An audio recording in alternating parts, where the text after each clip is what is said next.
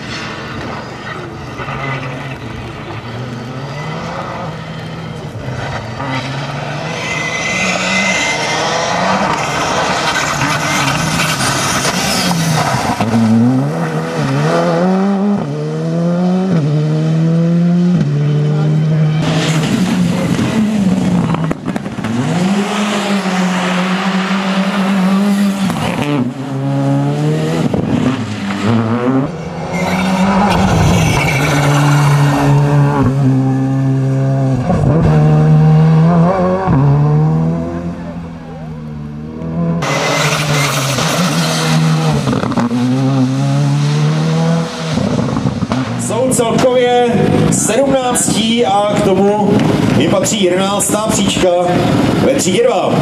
Zatím jsme nepotkali nikoho, kdo by řekl něco jiného, ale uvidíme. Třeba se tady objeví někdo, kdo řekne, že to prostě dali levou zadní. A patří za to, že jste oba v pořádku, včetně auta. se kterou se loučíme pro letošek. Doufáme, že za rok je uvidíme znovu, ale teď přivítáme společně s celým rodinným